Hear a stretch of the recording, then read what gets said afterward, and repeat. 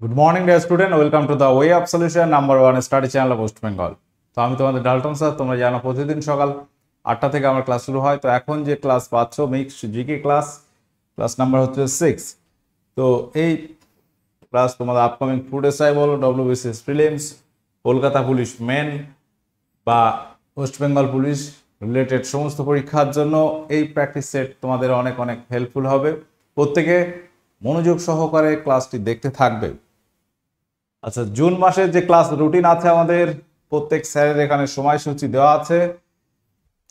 Alamin sir, Imtiaz sir Firoz sir, Mizan sir এবং এখানে আমার ক্লাস রুটিন এখানে এখন মিক্সড জিকে এই ক্লাস চলছে।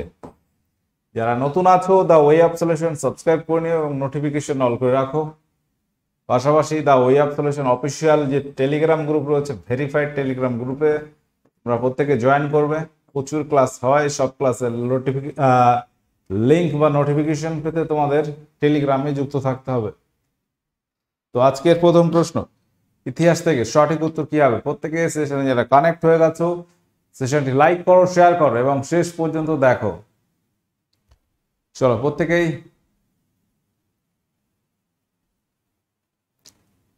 কমেন্ট করো সঠিক উত্তর কি হবে? কোন ভাইসরয়ের আমলে ভারত আফগানিস্তানের মধ্যে ডুরেন লাইন প্রবর্তিত হয়।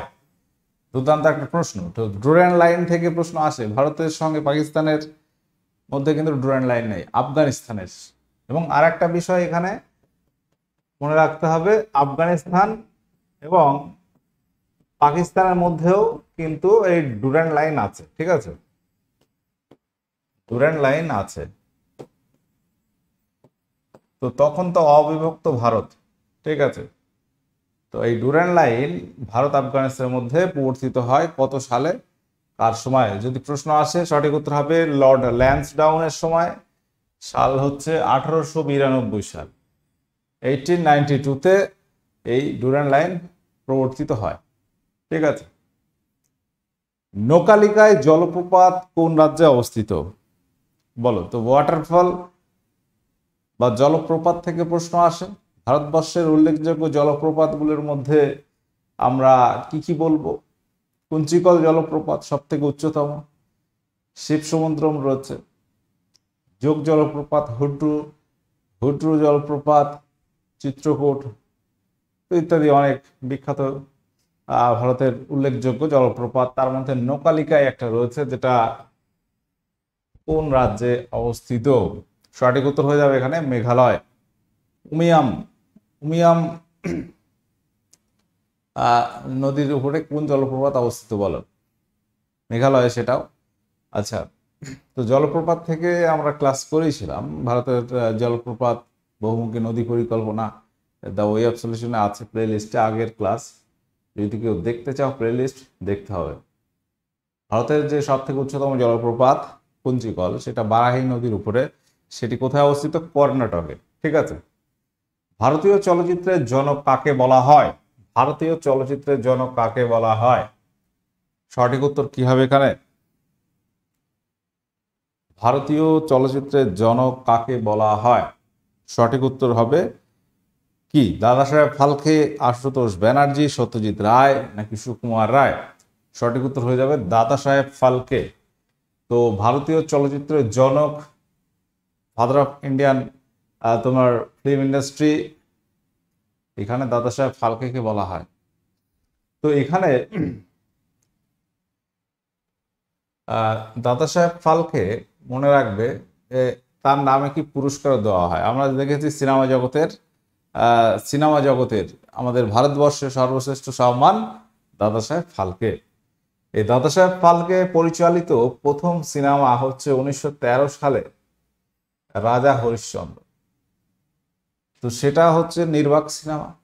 তার পরিচালক অর্থাৎ ডিরেক্টর এবং প্রডিউসার থাকেন দাদা সাহেব ফালকে। তো দাদা সাহেব ফালকে থেকে দাদা সাহেব ফালকে পুরস্কার থেকে আমরা পরীক্ষায় প্রশ্ন পাই। লাস্ট যে দাদা সাহেব ফালকে পুরস্কার পেয়েছে, বাহান্নতম। কে পেয়েছে? আশা পারে। তাকে এখনও ঘোষণা করা হয়েছে। কার নাম? আশা পারেক। আশা পারেক হচ্ছে বাহান্নতম দাদা সাহেব ফালকে পুরস্কার পাবে, তাই তো? একান্নতম ছিল রজনীকান্ত।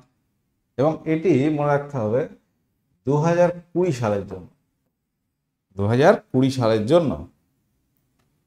পরবর্তী প্রশ্ন, মথুরা শহর নিম্নের কোন নদীর তীরে অবস্থিত?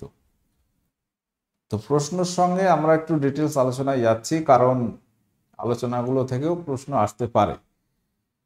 এবং সেটা তোমাদের মনে থাকবে। মথুরা শহর নিম্নের কোন নদীর তীরে অবস্থিত? তো মথুরা শহরটি কোন রাজ্যে অবস্থিত বলো? উত্তরপ্রদেশ নাকি? তো এখানে মথুরা শহর হচ্ছে যমুনা নদীর তীরে অবস্থিত। আমরা ভারতবর্ষের নদী তীরবর্তী শহর থেকেও ক্লাস করিয়েছি, সেটা তোমাকে দেখতে হবে। এবং বিভিন্ন বইতে, ভূগোল বইতে তুমি পেয়েও যাবে আর যে বিভিন্ন নদ নদী তীরবর্তী শহর উল্লেখযোগ্য। ভারতে এইগুলো থেকে প্রশ্ন আসে। প্রশ্ন আসে যে গোদাবরী নদীর তীরে কোন শহর অবস্থিত? নিম্নের তো চারটি অপশান পেয়ে যাবে, সেখানে নাসিক শহর রয়েছে। লখনৌ শহর কোন নদীর তীরে অবস্থিত? গোমতী। বারাণসী রয়েছে। কোন নদীর তীরে অবস্থিত, গঙ্গার তীরে। তো এইরকম প্রশ্ন কিন্তু আসে পরীক্ষায়। এবার বলো যে কার সময় সুপ্রিম কোর্ট চালু হয়? নিম্নের কার সময় সুপ্রিম কোর্ট চালু হয়? ভারতবর্ষে আর কি।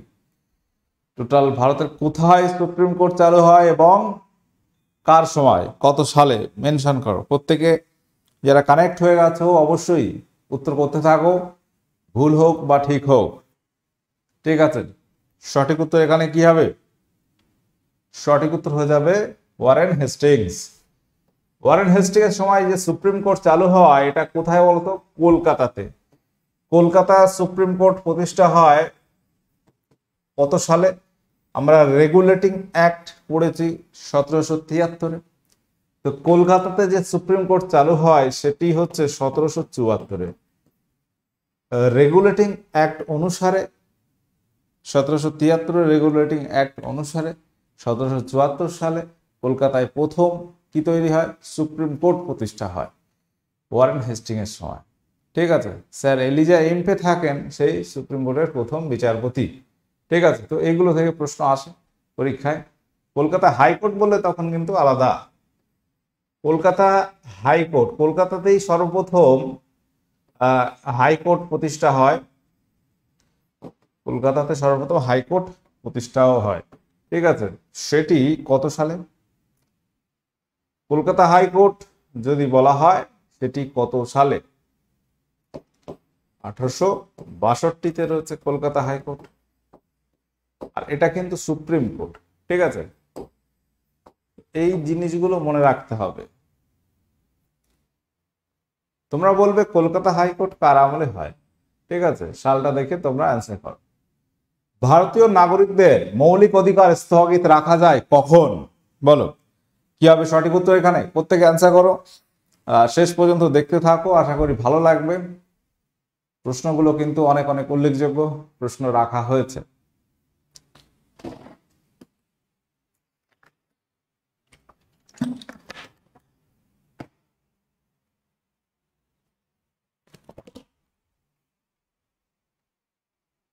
আচ্ছা মৌলিক অধিকার স্থগিত রাখা যায়। জাতীয় জরুরি অবস্থা জারি হলে, অর্থাৎ ন্যাশনাল এমার্জেন্সি তো তখন মৌলিক অধিকার নাগরিকদের স্থগিত রাখা যায়।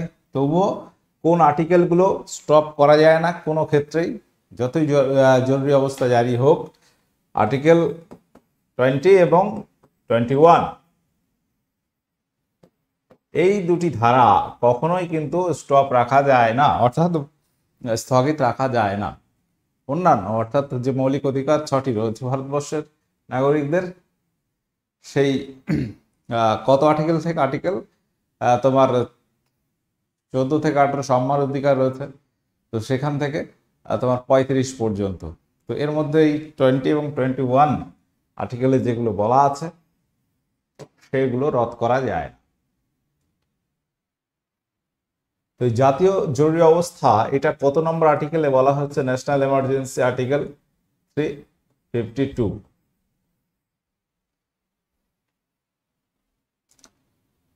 আচ্ছা এবার বলো যে অলকানন্দা ও মন্দাকিনী নদীর সঙ্গমস্থল নিম্নের কোথায় অবস্থিত? এটা কোথায় হবে? তো পঞ্চপ্রয়াগের নাম আমরা শুনেছি, গঙ্গা নদীর উৎপত্তি এই গঙ্গা নদীর উৎপত্তি থেকে আর কি গঙ্গা নাম হওয়া পর্যন্ত পাঁচটি প্রয়াগ রয়েছে, অর্থাৎ পঞ্চপ্রয়াগ। আমরা কি জানি? অলকানন্দা এবং ভাগীরথী নদী দেবপ্রয়াগে গিয়ে মিলিত হয়ে তারপর নাম হচ্ছে গঙ্গা। এই ভাগীরথী নদীটা আর কি সেই গোমুখ গুহা থেকে উৎপন্ন হয় এবং অলকানন্দা অন্য দিক থেকে। তো অলকানন্দা নদী তোমার অলকানন্দা নদীর সঙ্গে কিন্তু বা একাধিক নদী মিলিত হয়েছে এবং এক একটা প্রয়াগে মিলন হয়েছে। এখানে অলকানন্দা এবং মন্দাকিনী, এটা হচ্ছে রুদ্র প্রয়াগ। অলকানন্দার সঙ্গে পিণ্ডারি নদী। পিণ্ডারি নদী। এই পিণ্ডারি নদীর মিলনের স্থল হচ্ছে কর্ণপ্রয়াগ, অলকানন্দার সঙ্গে, ঠিক আছে? অলকানন্দার সঙ্গে নন্দাকিনী নদী। এটা মন্দাকিনী ছিল। আরেকটা আছে নন্দাকিনী। এই নন্দাকিনী নদীর সঙ্গে অলকানন্দা নদীর যে মিলনের স্থল, সেটা হচ্ছে নন্দপ্রয়াগ। আর হচ্ছে ধৌলি গঙ্গা অলকানন্দার সঙ্গে ধৌলি গঙ্গা নামক একটা নদীর মিলনের স্থল, সেটাকে বলা হচ্ছে বিষ্ণুপ্রয়াগ। তাহলে বাকি থাকল কোনটা? বলে দিয়েছি, দেবপ্রয়াগ। তাহলে অলকানন্দার সঙ্গে চারটি নদীর মিলন চারটি প্রয়াগ আছে এবং অলকানন্দার সঙ্গে, সবগুলো কিন্তু অলকানন্দার সঙ্গে, ঠিক আছে? এর সঙ্গে ভাগীরথী। তার পরবর্তী নাম হচ্ছে গঙ্গা নদী। ভাগীরথী। তো এটা হচ্ছে দেবপ্রয়াগ। এটা ধরো দেবতার রূপ নিচ্ছে, গঙ্গা তৈরি হচ্ছে, দেবপ্রয়াগ। তো এই পঞ্চপ্রয়াগ থেকে পরীক্ষায় প্রশ্ন আসে, দেবপ্রয়াগের পর থেকে এই দুটি নদীর নামকরণ হচ্ছে গঙ্গা। ঠিক আছে? এটা একটু মনে রাখতে হবে এবং এই নামকরণগুলো কীভাবে হচ্ছে? দেখো, যে নদীর গভীরতা বেশি, সেই নদীর সঙ্গে যদি একটা কম গভীরতাযুক্ত নদী মিলিত হয়, নাম কিন্তু যার গভীরতা বেশি সেটা অনুযায়ী হতে থাকে। অর্থাৎ এই বিষ্ণুপ্রয়াগ, নন্দপ্রয়াগ, কর্ণপ্রয়াগ, রুদ্রপ্রয়াগ, এই চারটি জায়গায়, চারটি নদীর মিলন হলেও নামটা অলকানন্দা হিসেবেই চলতে থাকে। এবার যখন দুটো নদীর ধরো ঘনত্ব বা তোমার গভীরতা প্রায় সমান হয়ে যাবে, তখন নামটা পরিবর্তন হবে। তাই তো কারোর নাম হলো না এখানে। তো দুটো নদী, মিলনস্থল, দেবপ্রয়াগ এবং নাম হচ্ছে গঙ্গা। ঠিক আছে? নতুন একটা নাম হলো। তো এইগুলো থেকে প্রশ্ন আসে। আমি খুব ধীরে ধীরে বললাম যাতে করে তোমাদের মনে থাকে। ঠিক আছে? তো এখানে প্রশ্ন হচ্ছে বার সংবিধান সংশোধনী বিল কোথায় পাস হতে হয়? তো আমরা একবারে বেসিক ভাবে শুরু করেছি, কারণ পরীক্ষা কলকাতা পুলিশ প্রিলিমস হয়ে গেছে এবং আমরা আবার নতুন করে সেট শুরু করেছি ওয়ান টু করে। তো এখানে কিন্তু আবার সেই যেগুলো উল্লেখযোগ্য প্রশ্ন, সবগুলো আলোচনা করা হবে। ঠিক আছে, অনেক প্রশ্ন, এগুলো ধরো আগের যারা ক্লাস করেছ, এগুলো করানো হয়েছে। তবুও কি, আবার নতুন করে শুরু হচ্ছে তো? এই প্রশ্নগুলো করাতেই হবে। ঠিক আছে। আচ্ছা এবার প্রশ্ন হচ্ছে, তো দেখো সংশোধনী বিল, সংবিধান সংশোধন করা যায় আর্টিকেল কত নম্বর অনুযায়ী? অর্থাৎ কত নম্বর আর্টিকেলে ভারতের সংবিধান সংশোধনের কথা বলা হয়েছে? এটা আগে বলো, এটা হচ্ছে আর্টিকেল থ্রি সিক্সটি এইট তিনশো আটষট্টি নম্বর ধারা বলে আমরা সংবিধান সংশোধনের কথা জানতে পারি। এবং এই যে সংবিধান সংশোধনের ধারণা বা কনসেপ্ট এটা কোন দেশ থেকে নেওয়া হয়েছে? সংবিধান সংশোধনের ধারণা এটা আমরা পাচ্ছি দক্ষিণ আফ্রিকা থেকে। কোন দেশ? দক্ষিণ আফ্রিকা। তো এই দক্ষিণ আফ্রিকা থেকে সংবিধান সংশোধনের ধারণা পাচ্ছি। তো এখানে এই যে প্রথমে দেখবে লোকসভায় বিল পাস হতে হবে, তারপর রাজ্যসভায় হতে হবে। ঠিক আছে? পার্লামেন্টের উভয় পক্ষে কিন্তু পাস হতে হবে। তারপর ফাইনালি পাস হয়ে গেলে এবার রাষ্ট্রপতি শুধু সই করবে, এটাই বাকি থাকবে। অবশ্য রাষ্ট্রপতি খারিজ করতে পারে এন্ড সিচুয়েশনে যদি সিচুয়েশন পাল্টে যায়, তখন কিন্তু রাষ্ট্রপতি যদি সাইন না করে, সে বিলটা অ্যাক্ট হবে না বা আইন হবে না। তাহলে স্টেপগুলো হচ্ছে, সংবিধান সংশোধন করতে গেলে প্রথম লোকসভায় পাস করতে হবে। তারপরে স্টেপ হচ্ছে রাজ্যসভায়। অনেক বিল লোকসভায় পাস হয়, রাজ্যসভায় গিয়ে পাস হয় না। এরকম আছে। তো, তারপরের স্টেপ হচ্ছে রাষ্ট্রপতির স্বাক্ষর প্রয়োজন হবে। ঠিক আছে, তো মোটামুটি পাস হয়ে গেলে রাষ্ট্রপতি স্বাক্ষর করতে বাধ্য থাকেন। তো তবুও রাষ্ট্রপতিও অনেক সময় পারেন যে সেটা ক্যান্সেল করতে, যদি সিচুয়েশন হয়তো পাল্টে গেল। হতে পারে। তো এটা হচ্ছে মনে রাখতে হবে। তাহলে এখানে আমি অনেক কথা বললাম আর্টিকেল বললাম, কোন দেশ থেকে নেওয়া হয়েছে, কোথায় কোথায় পাস হতে হবে, বোঝা গেল। রাসায়নিকভাবে মিল্ক অফ ম্যাগনেশিয়া কি? অর্থাৎ মিল্ক অফ ম্যাগনেশিয়া এর নাম কি? রাসায়নিক নাম কি? Sodium bicarbonate, calcium hydroxide, magnesium carbonate, magnesium hydroxide. তো এটা এক ধরনের ক্ষার এবং আমরা দেখব যে মিল্ক অফ ম্যাগনেসিয়া কখন এটা কিন্তু ওষুধ হিসেবে বিক্রি হয়। দেখবে কোষ্ঠকাঠিন্য হলে মিল্ক অফ ম্যাগনেসিয়া এটা দেওয়া হয়, ওষুধ মানে তোমার সিরাপ সাজেস্ট করে। ঠিক আছে, ডাক্তার, ডাক্তারেরা। তো এই মিল্ক অফ ম্যাগনেসিয়া এটা হচ্ছে ম্যাগনেসিয়াম হাইড্রোক্সাইড এটা রাসায়নিক নাম হচ্ছে ম্যাগনেসিয়াম হাইড্রোক্সাইড এর সংকেত কি হবে? M G MGOH whole two magnesium আছে হাইড্রোক্সাইড রয়েছে এবং হোল টু ম্যাগনেসিয়াম হাইড্রোক্সাইড এর সংকেত তাহলে কি হবে? M MG OH whole two এখানে লেখা রয়েছে, আমি তবু আরেকবার লিখলাম, যেহেতু টুটা এখানে বর্তমানে মণিপুরের মুখ্যমন্ত্রী হিসেবে কে নিযুক্ত আছেন? মণিপুরের মুখ্যমন্ত্রী কে আছেন?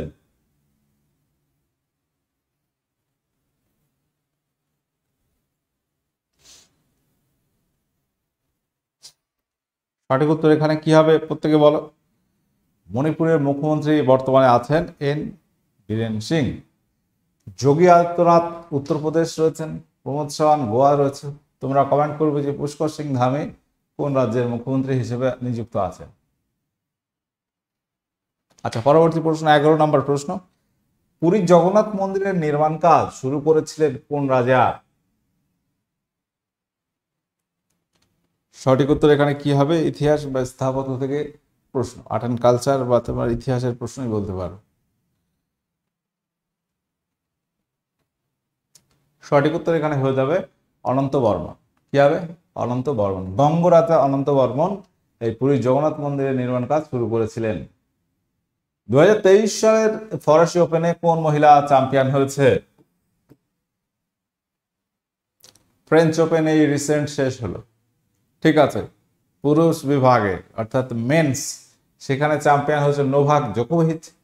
নোভাক জোকোভিচ, তিনি পেয়েছেন তেইশটি গ্র্যান্ড স্লাম টোটাল মানে এই গ্র্যান্ড স্লাম বা টেনিস ইতিহাসের জগতের শ্রেষ্ঠত্বের জায়গায় পৌঁছে গেছেন কে? নোভাক জোকোভিচ। সার্বিয়ার নাগরিক। তিনি কিন্তু এখন টপে রয়েছে। তেইশটি গ্র্যান্ড স্লাম আগের বছর আমরা পড়েছিলাম যে বাইশটি পেয়েছে রাফেল নাদাল। তখন কুড়িটি ছিল, এক এক করে বাড়তে বাড়তে। বাইশ সমান সমান হলো। এবার কিন্তু তেইশতম পেয়ে গেল। আচ্ছা এখানে ইগা সোয়াটেক হবে, তিনি কিন্তু ফরাসি ওপেন পরপর দুবার জয়লাভ করলেন। অর্থাৎ দু হাজার বাইশ সালে এই প্রশ্নটা আমি করিয়েছিলাম যে দু হাজার বাইশ সালে ফ্রেঞ্চ ওপেন বা ফরাসি ওপেন কে জয়লাভ করছে? ইগা সোয়াটেক দু হাজার তেইশ দু হাজার বাইশ। এটাও মনে রাখবে দু হাজার বাইশ দু হাজার তেইশ পরপর।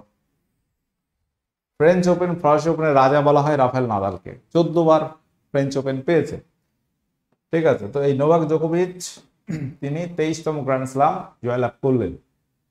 অস্ট্রেলিয়া ওপেন কে জিতেছে এবার? অস্ট্রেলিয়া ওপেন তিনিও কে- নোভাক জোকোভিচ ঠিক আছে। নিম্নের কোনটি জাহাজ নির্মাণ কেন্দ্র নয়? নিম্নের কোনটি জাহাজ নির্মাণ কেন্দ্র নয়? তো এই যে খেলাধুলো রিলেটেড প্রশ্ন পরীক্ষা আছে, তার মধ্যে এটা একটি, ঠিক আছে। আচ্ছা এখানে একটু দ্রুত করায় এবার প্রশ্ন একটু স্লো করাচ্ছিল আমাদের সময়। কোনটি জাহাজ নির্মাণ কেন্দ্র নয়? ঠিক আছে? সঠিক উত্তর হবে পশ্চিমবঙ্গের চিত্তরঞ্জন চিত্তরঞ্জনে রয়েছে লোকোমেট্রিক তোমার কারখানা রয়েছে বা তোমার রেল ইঞ্জিন তৈরি হয়, বৈদ্যুতিক rail engine electrical rail engine তৈরি হয় পশ্চিমবঙ্গের চিত্তরঞ্জনে সেটা জাহাজ নির্মাণ কেন্দ্র নয়। প্রশ্নগুলো কিন্তু এরকম থাকে এবং এই নয়টা থাকবে এখানে গিয়ে। ঠিক আছে? তুমি দেখতে পাবে না। বোঝা গেল? পশ্চিমবঙ্গ খিদিরপুর অন্ধ্রপ্রদেশের বিশাখাপত্তনম, কেরালার কোচিন। কোচিন শিপইয়ার্ড সব থেকে বৃহত্তম জাহাজ নির্মাণ কেন্দ্র ভারতবর্ষের। আইএসএল দু হাজার বাইশ তেইশ কে জয়লাভ করল। বলো আইএসএল দু হাজার বাইশ তেইশ কে জয়লাভ করল। সঠিক উত্তর এখানে কি হবে? তো এটা কারেন্ট অ্যাফেয়ার্স থেকে প্রশ্ন এবং এটা মনে রাখতে হবে আগামী বছর পর্যন্ত, কারণ প্রশ্নটা আসতেই পারে। খেলাধুলো রিলেটেড এবং ভারতীয় ইন্ডিয়ান সুপার লিগ যেটা বলছি, আইএসএল ফুটবল, সেটা আমরা কি বলব? এটিকে মোহনবাগান। তো এখানে একটা ইনফরমেশন দিয়ে রাখি, এই এটিকে মোহনবাগান, এর নাম পরিবর্তন হচ্ছে আগামী সিজন থেকে। নাম চেঞ্জ হয়ে কি হচ্ছে? মোহনবাগান সুপার জায়ান্টস কি হবে? নামটা হবে মোহনবাগান।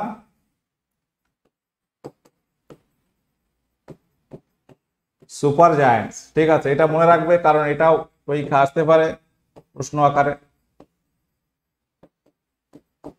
চলো, তো পরবর্তী প্রশ্ন। দু হাজার বাইশ থেকে অর্থাৎ এই এই বছরের শেষ হলো, চ্যাম্পিয়ন হয়েছে আমাদের কলকাতার টিম মোহনবাগান সুপার জায়ান্টস। আচ্ছা মানে এটিকে মোহনবাগান, যেটা আগামী বছর থেকে, আগামী সিজন থেকে, অর্থাৎ এই বছরই নাম হবে কি? Mohun Bagan super giants. তো ওটা মনে রাখবে। এবার প্রশ্ন হচ্ছে দু হাজার বাইশ সালে সাহিত্যে কে নোবেল পুরস্কার পেয়েছেন? তো নোবেল পুরস্কার তেইশ সালে কিন্তু এখনও দেওয়া হয়নি। তো আগেরটাই আমাদের পড়তে হবে। নোবেল পুরস্কার থেকে আমরা এই প্রশ্নগুলো যেটা সাহিত্য, অর্থনীতি, ঠিক আছে, শান্তি, এগুলো মনে রাখতে হবে। খুবই ইম্পর্টেন্ট পরীক্ষা আসে দু সালে সাহিত্যে নোবেল পুরস্কার জিতেছেন নিম্নের কে? সঠিক উত্তর কি হবে? প্রত্যেকে বলো। সঠিক উত্তর হবে অ্যানিয়ে এরনক্স বাংলায় লেখা আছে, নাম, স্পেলিং একটু বেশ ফটোমটো লাগবে। ঠিক আছে অ্যানি এরনক্স ফ্রান্সের নাগরিক। তিনি পেয়েছেন দু হাজার বাইশ সালে সাহিত্যে নোবেল। আব্দুল রাজাক গুনরাহ তিনি দু হাজার একুশ সালে সাহিত্যে নোবেল পেয়েছিলেন। ঠিক আছে দু ইনি দু হাজার বাইশ। মনে থাকবে? পরবর্তী প্রশ্ন। আইপিএল দু হাজার তেইশ কোন দল চ্যাম্পিয়ন হলো? তো আইএসএল হলো, এবার আইপিএল এসছে ঠিক আছে, তো এইগুলো খেলাধুলো রিলেটেড খুব টপ কোশ্চেন আছে। এবছরের জন্য কারেন্ট অ্যাফেয়ার্স তথা তোমার খেলাধুলো রিলেটেড বলতে পারো আবার। তো আইএসএলটা ফুটবল এট আইপিএলটা ক্রিকেট, তাই তো? আইপিএলটা হচ্ছে ক্রিকেট। তো এবার তো চেন্নাই সুপার কিংস জয়লাভ করল। নিঃসন্দেহে গুজরাট টাইটান্স ছিল রানার্স আপ, প্রায় জিতে যাচ্ছিল মানে ভালো কন্টেস্ট হলো আর কি ফাইনালে চেন্নাই সুপার কিংস এই নিয়ে পাঁচবার, পঞ্চমবার কিন্তু তারা চ্যাম্পিয়ন হলো আইপিএল এর চলো, মুম্বাই ইন্ডিয়ান্স তারাও পাঁচবার। কলকাতা নাইট রাইডার্স দুইবার, গুজরাট টাইটান্স নতুন দল হিসেবে পরপর দুইবার ফাইনাল খেললে একবার চ্যাম্পিয়ন হয়েছে প্রথমবার, ঠিক আছে? গতবার। সাদা কয়লা সাথে তুলনা করা হয় নিম্নের কোনটির তাপবিদ্যুৎ, জলবিদ্যুৎ কয়লা ভিত্তিক তাপবিদ্যুৎ নাকি খনিজ তেল ভিত্তিক তাপবিদ্যুৎ? ঠিক আছে, সঠিক উত্তর এখানে কি হবে? সাদা কয়লা বা হোয়াইট কোল বলা হয় কাকে? অর্থাৎ কয়লার মতোই প্রায় কার্যকারিতা, জলবিদ্যুৎ। জলবিদ্যুৎ, এটিকে বলা হচ্ছে সাদা কয়লার সঙ্গে তুলনা করা হয়। পরবর্তী প্রশ্ন, প্রাকৃতিক গ্যাসের উৎপাদন, বাণিজ্য এবং পরিবহনের ক্ষেত্রে ভারতের বৃহত্তম কোম্পানিটির নাম কি? ONGC oil oil India limited GAIL gas authority of India limited OPEC বলো।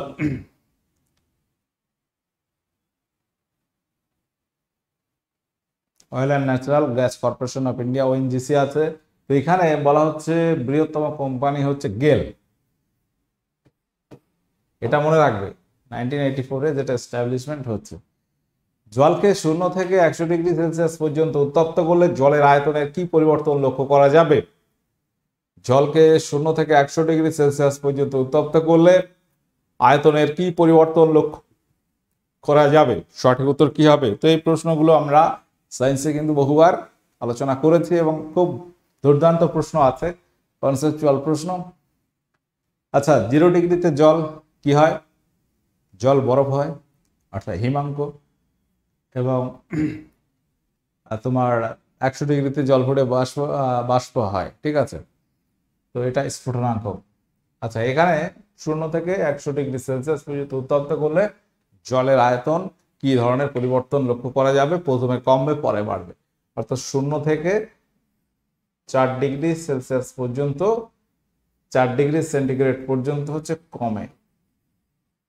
এবার তারপর চার থেকে তুমি যত যাবে, তারপর আসবে, এটা একটা সেকশন আছে, তারপর বাড়বে। বোঝা গেল? কারণ জলের বলা হচ্ছে চার ডিগ্রি সেলসিয়াস উষ্ণতায় ঘনত্ব সর্বাধিক হয়। ঠিক আছে? তো ব্যতিক্রান্ত প্রসারণ, এটা দেখা যায় জলের ক্ষেত্রে।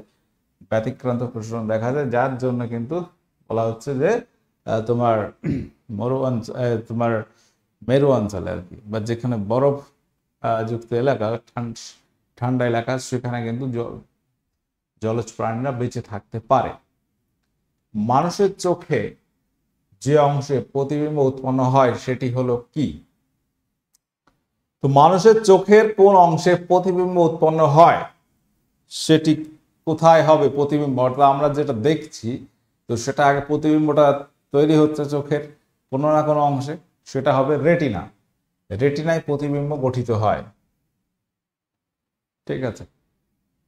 এটা হবে সদ্বিম্ব এবং উল্টানো, উল্টো। পরবর্তী বিষয়টা দেখো, এখানে আমাদের দা ওয়ে অফ সলিউশন, আমার টিডাব্লিউএস একাডেমিতে টোটাল ক্লাসগুলো করানো হচ্ছে। যারা নতুন আছো, অবশ্যই সাবস্ক্রাইব করে নিও। নোটিফিকেশনটা অল করে রাখবে। পাশাপাশি এখানে আন একাডেমিতে ফুটেসাই এসএসসি সিএইচএসএল এমটিএস এবং রেডি কনস্টেবল ব্যাচ চলছে প্রত্যেক ব্যাচ সাবস্ক্রিপশনে তোমরা Alamin nine Amin code use করবে। ফিচার সবগুলো এখানে যেগুলো আছে পাবে। কীভাবে কানেক্ট হবে এখানে দেখে নাও। আচ্ছা এবার বলো মহারাষ্ট্র এবং গুজরাটের মধ্যে কোন নদীর জলবন্টন নিয়ে বিবাদ আছে? তো এখানে আমরা প্রশ্ন আলোচনা কম হলেও অনেক কিন্তু প্রশ্ন কম হলেও আলোচনা অনেক বেশি হয়েছে বলে অনেক সময় চলে গেছে, তাই তো? অসুবিধা নেই, একই ব্যাপার। আচ্ছা এটা হবে নর্মদা এবং তাপ্তি নদী। মহারাষ্ট্র, গুজরাটের মধ্যে জল বন্টন নিয়ে বিবাদ আছে এই নদী দুটির। ভারতের খনিজ সম্পদ সমৃদ্ধ রাজ্য হলো নিম্নের কোনটি? কেরালা, সিকিম, অসম নাকি ঝাড়খণ্ড? সঠিক উত্তর এখানে কি হবে প্রত্যেকে বলো। সঠিক উত্তর এখানে হয়ে যাবে ঝাড়খণ্ড হবে। তুলনামূলক কেরালা, সিকিম, অসম এগুলো অতটা খনিজ সমৃদ্ধ না। প্রোটিনের সরলতম রূপটি হলো নিম্নের কি? Citric acid, amino acid ketoglutaric acid, malic acid.